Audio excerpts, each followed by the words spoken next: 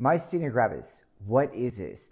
It's an autoimmune disorder where our own body attacks the acetylcholine receptors. Whoa, what does that mean? Well, let's think about this. Acetylcholine is a neurotransmitter that helps activate different muscles.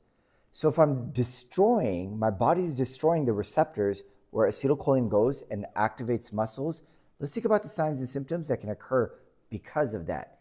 The first one is think about all the things that you're naturally using that are muscles that you don't even realize. How about blinking? How about focusing and unfocusing just when you're looking at things?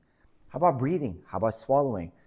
So you look at the signs and symptoms, and all of those over time, as those receptors are being destroyed, are going to start to get fatigued. So am I going to start to get droopy eyes? I will. Am I going to start to develop diplopia and or have blurry vision? Absolutely.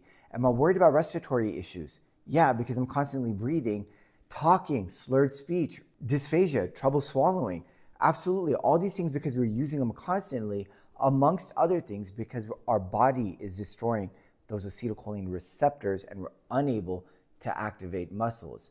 What else do we need to know? Well, it's an autoimmune disease. So, what are we going to do to suppress our immune system?